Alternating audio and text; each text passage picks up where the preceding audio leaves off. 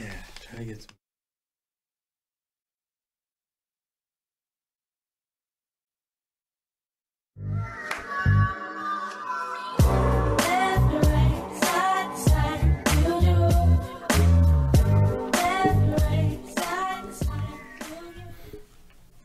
And we're live. What's up, guys? Listen, Culture and Cannabis Podcast, episode 22. Welcome. My name is JC Coates. I'll be your host today. Listen, we're missing our co-host, full-time Tony. He's he's he's sick in bed. He's got the flu. So so send him some positive vibes. But but listen, we're we're, we're gonna we're gonna make up for it. It's gonna be an incredible podcast. Um, we have an incredible episode for you today. We're bringing back one of our favorite guests.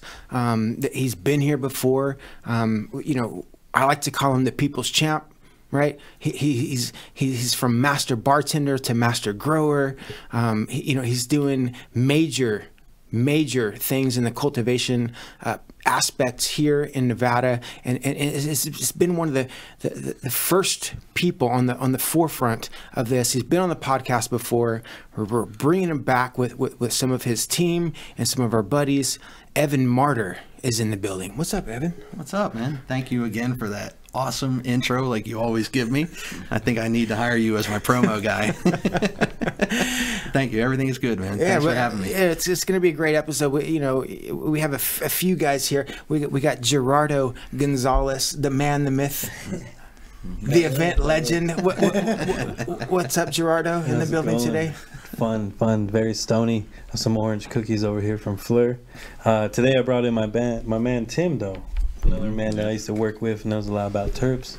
To Nice. little- to our Terpene, Terpene. Tim. Yep, Wh- wh- Terpene Tim. What's up, mm-hmm. brother? What's Yeah, up? yeah. Just hanging out, about to hopefully try some of this orange cookies out and talk terps.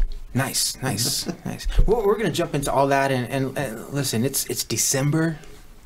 You know, it's it's a beautiful time of the year. I mean, for, for, for a lot of us, it's it's it's kind of reaping what you sow. If you if you if you live by that that twelve month cycle, you know, we, we kind of work all year, and, and and you know things tend to kind of slow down, and we, we get to we get get a chance to kind of reap some of the benefits of what we put in for the rest of the year. And man, uh, man. I- Yeah.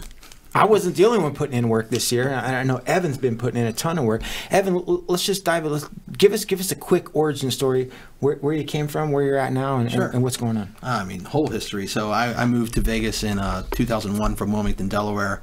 I was a flair bartender, a flair bartender on the Las Vegas Strip for uh, 14 years, from 2001 till about 2015, and I founded a company at that time called Matrix NV. I was the um, founder and chief operating officer of Matrix NV. I ran uh, the day to day at Matrix NV from April 2016 up until June 2018. Uh, from that point on, I, I moved on and I started consulting. I was actually working out in Arkansas and Oklahoma for a little bit uh, from August of last year until December of last year. And then I was mainly back in Vegas focusing on what I wanted to do here. And I started working with Fleur Cannabis back in April. I was going to start doing sales for them and start doing some uh, extraction work for them, and then that moved into uh, director of cultivation position. That was happened in June, and ever since June, that's what I've been doing. I've been running Fleur, and Nice. yeah, it's Yeah. it's been awesome. It's been really cool. I mean, it, it looks awesome. I mean, G, G, do they have any good weed over there at, at before? Or, We have that award-winning uh, from the Jack Herer Cup first place sativa, Miss Africa. right. Some good crosses there. You got Miss X, South African, South African KwaZulu, and Fire Alien Kush. nice. And so that says a lot. But uh, we do orange cookies, which is kind of what we brought here today. Kind of talk about the flower, the strain, terps on it, and uh, just let everybody get a nice little whiff and smell it. Nice, nice. Yeah. Well, well, well, I think we're definitely going to smoke some of that. I, I, I can't wait for that. And uh, I mean, here's the thing. Like, I mean, you, you know, for the listeners, I don't know if you guys, you know, have listened to all the episodes. And, and Evan was on, on on one of our biggest episodes here in the beginning when we started our podcast. Uh, you know, about a year year and a half ago. And uh, um, I mean, for me, it was really, you, you know, your story is really special to me, Evan, because uh, you know, I could just relate to it. You know what I mean? And and uh, and I don't think it's just me. You know what I mean? Because you you, you do seem like kind of like a a normal guy. You know what I mean? Yep. But you're doing amazing things, and um, you know, I always considered myself an average guy with above average dreams, right? You know, That's me too. and and and I, and, and I can relate with you, and and, and you know, you you had a story. Um, you know how you started Mm-hmm. on the strip as a bartender, right? Let, us just let's just dive into that really quick because I mean I used to be a bartender, but how do you, you know?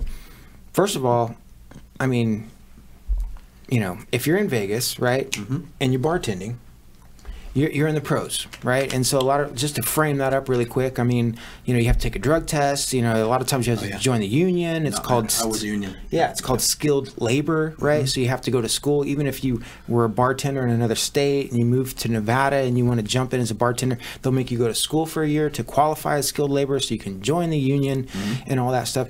And and then so, you know, but but you can't smoke weed. No.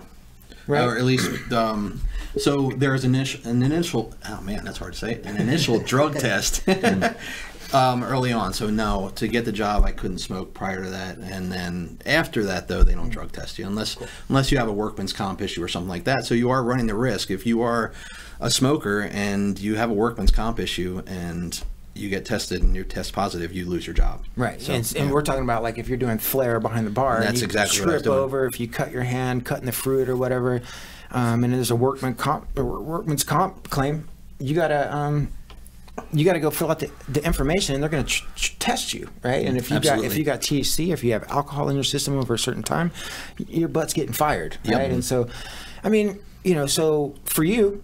Cut and simple, right? So you Hmm. just didn't smoke weed, right? Uh, no, I smoked. Okay. I didn't smoke, but you know, it's funny. I that's actually a funny story. I, I moved out here in 2001 and you know spent the whole summer not smoking just so I would pass the drug test coming out here. Then got out here, got the test done and everything, and then started looking for weed and couldn't find anything. And that was after they had medical cards here, and that's part of the reason why I got a medical card because I just couldn't find a good dealer. And that was part of the reason why I got my card here and started growing again out here. I didn't plan on growing out here. Before I moved to Nevada, I knew that uh, this was one of the harshest states uh, as far as getting busted for cannabis was concerned. I, you know, you always heard in Nevada you can go to jail for for having a seed. So, um, you know, I was always skeptical or scared about coming out here and being a smoker. But then, of course, they passed it the year before I moved out here, so it was a little bit more lenient by the time I got here. And uh, it's basically July, August 2001, and so not long after I got a card and started growing again. As soon as I bought a house out here, that's when you know the growing started again. so, so yeah, I, I continued to smoke the whole time. Um, uh, but to, to add to that, though, I was pretty much the only stoner, the only pothead in the whole group of bartenders that I hung out with, and it was a vast group of people. No one got high. No one. I was really one of the few. So when I started Matrix, and and I was still bartending at that time, and coming up with the idea, and all my bartender buddies were kind of like, "Oh, that's cool, man," but you know they didn't really understand it. Now they're all super supportive of it, and it turns out it's funny because everybody was kind of like a closet smoker back then. Now all of a sudden, like now that I'm out there, a lot of them are like, "Yeah, man, I love your orange cookies," or this and that. So it's like, "Oh, really? You were a smoker the whole time?" Yeah. Or maybe they just got into it. I don't know. But Well, I mean, you know, I mean, here's the deal: the the the stigma is still alive. You know what I mean? for sure. And uh, and for a lot of people, the this you know the, the the general stigma, right? The the overlooming stigma, like as as a, as a view of a country or whatever, is one thing. But uh, but but more importantly, a lot of times the stigma lives in in, in your family, mm-hmm. No and it comes from your your mother, or your sister, or your aunt, or your uncle that kind of makes you feel a certain way about you know using the pot. And uh, yeah, it, I mean, I can, I can remember when when weed went legal, right? And it was just like, you know. Um, People didn't used to to post about it on Facebook, right? Now, now you see like you know your aunt, your your, mm-hmm. your mm-hmm. uncle po- posting about it or whatever. Um, you know, because they feel safe about it. Now it's legal, right? And and now they're like, oh, it's okay, right? And now it's like you see all these these these people that you, you know you, you knew that maybe maybe you didn't know or didn't know smoke mm-hmm. weed, but now now you realize more people use cannabis than than you actually realize. So Absolutely. Yeah. My father was a big pothead, and my mom was not. And they got divorced when I was 17, and that was one of the major reasons why, actually. So, it you are correct. It has been a big stigma in just my family alone, you know. And what's funny is, uh, I hid my pot use from my mom my whole life, and I'm sure she knew, but she never saw me stoned or never saw me get high or never saw me with weed or anything like that. And uh, she moved out here to work for me at Matrix. Oh wow. so, you know, I mean, and that stigma is completely gone. And, you know, you're right. It's been lifted ever since recreational, well, actually, since medical started. You know, I, I saw it firsthand here. You would see a lot of people trying to get into the industry. Um, some people, like in their 70s or 80s, big, you know, successful businessmen or women that old that had been told their whole lives that pot was bad. And that that changed in their minds, and they decided to get into the industry. And I've I've actually had um, a gentleman that was over 80 years old, literally crying in front of me, telling me about how his you know friends and family had all died from cancer, and that he was lied to his whole life, and it, it made him disgusted that you know the government lied to him all these years, and all of his friends and family could have been helped by cannabis instead of suffering the way they did. You know, so. Um, I think that a lot of people are starting to see the benefits, or not starting. They're really starting to see the benefits of uh, you know what this can do for you medically and and that really lifts the stigma right off the bat especially for cancer patients. If you're a stage 4 cancer patient going through through chemo and this little thing right here helps you immensely i mean why the wouldn't you wouldn't you smoke it? Wha- what's so bad about it? Especially you know quality of life end of life situations like that like there's just no reason to deny somebody cannabis. Yeah. so And I, I think a lot of it, um, a lot of it just really stems from uh, um, an unwinding of the, uh, you know, of, of the things that we were taught, right? And um, you know, the war on drugs and all that stuff kind of put things in our mind that you know w- we thought was true that wasn't true, and and I think a lot of people had actually. You know, stood behind um, you know some of the, the stigma, and, and I think a lot of those people probably were maybe a little bit ed- un- un- uneducated, right? To give them you know the benefit of the doubt, and I, I think you know now that a lot of the veil is being lifted up, and you know we had a, a- a young lady on the podcast last week that had you know epilepsy, you know, and um, you know she uses epilepsy um, you know, cannabis, cannabis for her for epilepsy, it's been taken away her seizures, and she's been able to function in life, and and and and and not only that, right? It's just been because of the cannabis use, um, she's been able to get off of some of the medications that were given to her, um, that that is generally um, prescribed with people with epilepsy that have horrible withdrawals. Right right and, and, and so you know cannabis yeah you know like i like to smoke it because i th- you know anxiety you know a lot of more light, lighter issues. I like to do it on a recreational basis but um, you know I, I use it for for exercising but you know that message just needs to be there. And i know we talk about it all the time right but we can't talk about it enough because of, of, of really the lives that are being changed but absolutely. Yeah. W- Yeah, this- man, this is good orange this is some good orange Oh yeah, no, yeah, it's, that's a nice stone. you got me rambling over here I Tim. like Tim. Oh yeah.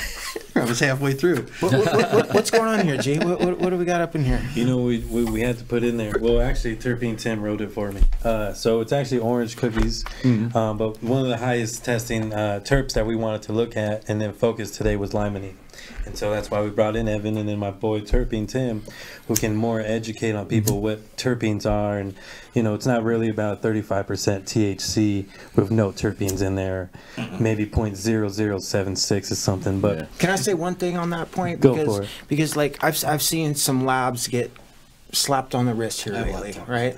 and uh, you know, I don't know what's going on over there. I don't I don't know them personally, but I, but I will say. Uh, um, I believe in, in culture, and culture is another uh, term for basically just the way things are done around here, right? And so when it comes to you know the, the cannabis industry here in Nevada and, and the consumers and everything, and even the buyers, man, can I call it the buyers for a little bit because you guys are you guys are Yes. um, s- j- j- just buying the cannabis based on um, you know the the no, I'm not saying everybody, but but but but the percentage value, right? And and it, and it comes from a place of where the, the, the consumers want to buy a product as a bigger um, you know percentage, and so you know we're, we're, we're skimming over the terpenes, right? And, and we're and so what that creates is it creates you know a culture of oh my weed has to be you know tested high, which in turns you know creates this weird thing with the with the maybe like you know hey I'm going to my labs, can I can I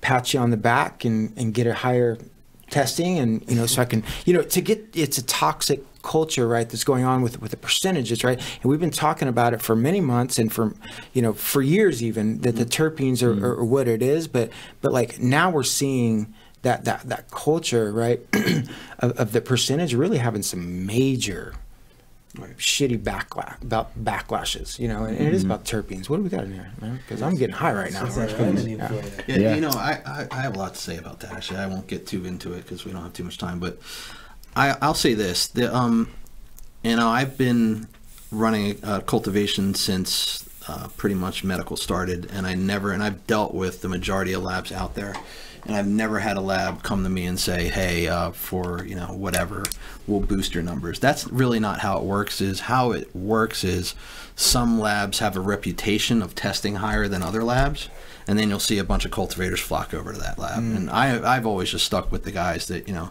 There's more to testing than just potency. Uh, there's a lot to it, you know, and and you want to create good partnerships with lab in the sense that you know they can basically if you start having some sort of issues with mold for example they can pinpoint what your issues are and work with you through that but it's it's more about working with good people with labs as opposed to um, going for results but you got to understand how the labs work too. It's their machinery is is you know all these numbers are based on calibration of their machines uh, of their equipment, and if it's just if it's just a slight tweak, it can be the difference of five percent, and that's that's huge in in our world because you know twenty five percent to thirty percent that's massive, or twenty two percent to seventeen percent again that's huge in our world. Because you have something that's below let's say eighteen percent, and all of a sudden the dispensaries don't want it anymore because you know it's not going to sell in their stores because of these freaking THC values. And I can promise you, you will get as high off something that is 17% with a good terpene profile mm-hmm. that you will with a 30 percenter that that doesn't have any terps, and it's really rare that you even find a 30 percenter with good terpenes. Mm-hmm. Um, you know, before. Nevada was testing over in California where they had, you know, good labs like Steep Hill and stuff. The, the highest testing stuff they saw was 28%. Like that mm-hmm. was it. Yeah. Right. You know, there was never 30 percenters. And when we came on and all of a sudden you're seeing these 32, 33, even 35 percenters, I'm just like, man, this is such bullshit. Because you would take it to another lab and you see the result of 22%. So again, it's not. I I personally don't think it's been like you know uh, the lab saying, "Hey, we'll work with you, get your higher numbers higher." I just think that it was certain labs calibrating their equipment a little bit differently than the other labs that were trying to you know go down the right path. But it's it's painful for them though too because they're trying to do business and Sure. you know a bunch of these cultivators will go to these labs that are testing with these high numbers just so they can get high dollar for their stuff. Mm-hmm. It's it's a funny game we're playing, but I think that the state is doing a really good job actually of, of coming down hard on them and, and saying, hey, we need this to be across the board. If you go to X lab and you go to Y lab, you're going to get the same pretty much ratio of THC results and terpene results as the you know as the other 2 mm-hmm. And they're finally starting to crack down on that, and that's what you're seeing now. Thank God.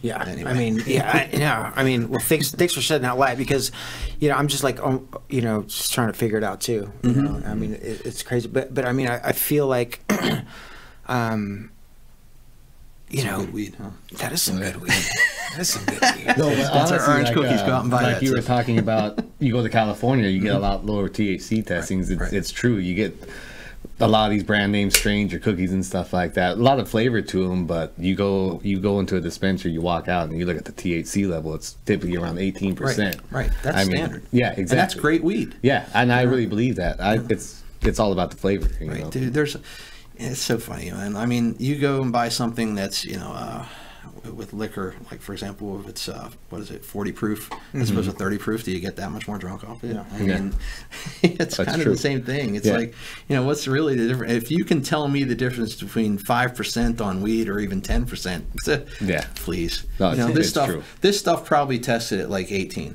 And look how stoned we are right now. Oh, you know what I mean? And it's just 'cause and the flavors through the roof. Yeah, Like exactly. you could, you want to just keep hitting it due to those terms coming. What do we got on that one? The testing was uh, actually THC 19.06. There you go. Oof, Yeah, of course. see? The limonene at 4.3, linalool at 2.7. It's that little. That's what's hitting you. That's, that's Yeah. nice, and then, you know that terps. I think uh, needs to be talked about a lot more. Like like they were saying, Let's talk about it. Nineteen percent, but I think the highlight of orange cookies is limonene, and so you know that's why I brought in Tim. So he could he could explain a little bit more about limonene.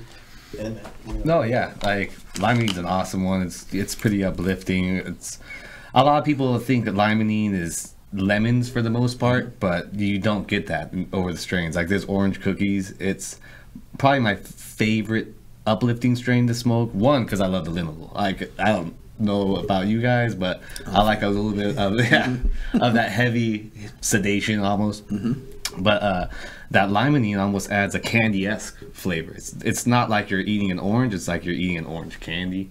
Uh, I mean, that's typically one of my favorite flavors. You can even, that carry, carry often you get a little bit of. I mean, I see that more in like almost a gassy flavor, but this just is like orange, sweet orange candy to me. And it just provides a nice kind of full body high. You could kind of jabberjaw, just start talking on that thing. It's true. Like, I, I love it. Uh, limonene's probably one of my favorites. Uh, my favorite, honestly, pair is high limonene and caryophyllene. A lot of cookie strains, you'll see that. And people don't realize that. If you were to tell them that, they'd think to themselves, oh man, what does that be? Just lemons? No, man, there's so much more beyond terps. And also, I feel terp pairing. Obviously, you growing, you probably see that all the time. I'm sure you see certain numbers show up frequently, and it's like, oh, yeah. yeah. you can almost predict the flavor on that. Absolutely. Yeah, no, Absolutely. cool. Mm-hmm. Mm-hmm. Definitely. Speaking of which, what what would be your favorite terpenes? Obviously. Uh, Myrcene is mine. Oh, okay. That's my favorite too, I Yeah, I like I like the myrcene vanilla. Don't get me wrong, but flavor wise, I like a good like lemon and caryophyllene cookie s flavor. I'm probably right there with you too. Mm-hmm. Yeah, I mean, Why do you like the myrcene? sleep, Yeah. It's a rest, Yeah, yeah. relaxation, man. Yeah. It hits me That's right it. here in the eyes, Exactly. right? It's like right in this whole forehead area. Right? Mm-hmm. That's when you know you're high. That's right. When it hits you in the eyes, you're like, oh. Yeah, it's just Damn. just the relaxation factor of myrcene mm-hmm. is what I'm pretty much looking for. I'm mainly a night smoker now. You know, I mean, I never smoke during the day anymore. This is really rare for me. Um, or like maybe on the weekends watching football or something. But run, you know, running a business, I just can't. I can't, you know, I can't smoke during the day. So at nighttime, though, uh, it's mainly just for relaxation for me more than anything. But orange cookies, though, is a good dinner time smoke as well. man. Oh That's- yeah, I definitely. that's awesome. agree You know what's with funny about um, terpenes as well is that. So I did a lot of public speaking and a lot of um, bud tender and manager and, and um, patient uh, seminar, patient trainings. You know, just I would go to dispensaries and just talk to everybody. And in medical, that's what we were really focusing on was educating the public and educating the bud tenders. Uh, the bud tenders are by far the most important people to talk to because they're the people talking to the public. And we had gotten to a point, and it wasn't just me; it was you know all the cultivators in in this state had gotten to the dispensaries to really start basing their price structures on terpenes, not THC. Um, it finally was getting there, and people were coming into stores and looking at terpene profiles and not THC so much. And then recreational happened, and as soon as recreational happened, that literally went out the window. It mm-hmm. it became again all the pricing structures of what dispensaries would buy your, your cannabis for was based on the THC results. Mm-hmm. They would also they still look at terpenes. Don't get me wrong, but you know it's all about the THC, and that's what mm-hmm. they get because the majority of the people doing the most business in this in this town at least are, are mainly focused on tourism like planet 13 and the majority of the people coming in there uh, i shouldn't say the majority but a lot of people coming in there saying you know what's your cheapest and what's what's your most potent? Mm-hmm. And that's that's THC, unfortunate. But you know i think that as the industry moves forward and people get more and more educated, people will understand that terpenes are really what they should be focusing on, mm-hmm. and so it will get there again. I think. It's just And honestly, let's face it, trying to educate that sativa indica, that's more how the plant grows. Right. It's, it's, how to describe it? It's, uh, it's the road you're on, what the THC level, and the terpenes decide what path you're going to take. Right. Or something like that. It was a pretty good analogy of it, though, and that's the main role. I mean, I, I wish we could get rid of the whole sativa indica hybrid Yeah, it- um, you know, moniker on, on cannabis because honestly, you know, there's a lot of stuff in, especially I, I doubt that there's really any true true sativas in our market just because they take 12 to 16 weeks to flower out. Mm-hmm. Yeah. and we don't have the time as cultivators. Everything for us has to be flowered under nine weeks. Mm-hmm. so the the the you know usually the sativas that we're growing a lot of them will have a little tiny bit of myrcene in them or you know terpenes that you would see more so in indicas and Yeah. stuff like that. And nowadays everything is a hybrid anyway. There's very few land races out there. So it's like don't you guys got that Panama red? i got rid of it was that was that a pretty it long grew like shit. Oh, It- yeah. we had it, and it's just it didn't grow well. Mm, So- and that's the thing. Another thing, a lot of you'll find these some landrace strains just don't do well indoors. Yeah, I can believe Um, yeah, so we do that Miss Africa though that we were talking about earlier. That is as close to a landrace strain as we have at Fleur, and it's Mm-hmm. phenomenal. And it has you know the true sativa skinny leaves like you would see in Africa. It's really cool. that. Is it pretty tall Yeah, yeah, it's it's actually um that plant is it's getting to about five and a half feet, but it's it got a lot of lateral growth. We're actually growing now. Um, we're growing indoor trees at Fleur. We're we're growing stuff that's literally over seven feet tall, and it's only vegging for six weeks. It's vegging for three weeks. It's three weeks under fluorescent, and then we move into a flower room, and then under HPS we go another three weeks, and then we flip them, and we're literally seeing plants that are probably about seven and a half feet tall right now. Like our glue on fire might be eight feet tall. Oh, it's yeah, that- insane. yeah, that's it's, one of my it's favorite really cool. Like, for that Yeah, gas. it's, it's cool. You guys- What, guys what, are, what are you guys growing over there besides that? Uh, so um, we had 13 strains. I could name them all off real quick, but I think more importantly, because we're, we're running a little low on time, but um, more importantly, what we're going to be doing at Fleur is um, I'm trying to establish, you know, the go-to genetics like Super Sour Diesel, like your OG Kushes, which we didn't really have when I got there. Um, we did have, we do have great strains like Orange Cookies, Tangy. We have a new Face on Fire that's phenomenal. The Miss Africa is really good. Great Monster is one of my favorites. We grow another one talking about terps, man. We grow another one called Plum Crazy, and I'll end up Oh, with yeah, with lower results on that, like anywhere from 14 to 18. Sometimes it's tested like in the 20s, but for the most part, it's it's you know in the teens. But man, the terp profile on that strain is just phenomenal, and and the smell on it is just incredible. So that one we're growing a lot. But what what I was getting at is um. We're, we're bringing in a lot of the staples like super sour diesel, but we're also going to constantly be hunting new hot shit at, at Fleur, and that's that's one of the biggest focuses that we have there because we have uh, an advantage in the sense that we have a tester room, we have a pheno hunting room, and there's not a whole lot of cultivation facilities that I know of that have that. And so we're just constantly hunting new genetics, and that's what we're doing right now. So once you know that process takes a while to get started, but once it's started, there's always going to be something behind those. So mm-hmm. it's going to be a constant, constant river of new strains mm. coming down the line, and, and with Fleur. So Nice. we're getting there. It's just So, know, it so the takes- the pheno the pheno room, the pheno hunt room. Like, let's talk to me about that. So, like, how does that work? How do you, how do you go hunting? So basically, uh, you start off from seed. So you're going to hunt from seed, and that's that's a bitch because half of what you're you're starting off is going to be male, and we only want to get female plants. So right off the bat, you cull about 50%. You get rid of about 50% of the plants that you start, and then you have to flower them out. Right. So that takes. So you have to grow them up, get them big enough to sex them, and then you flip them into a flower cycle. That's going to take you at least nine weeks, right? Mm. Then, in the meantime, though, we have to clone all of those because we have to have a backup of it mm. if it's something that we decide to keep.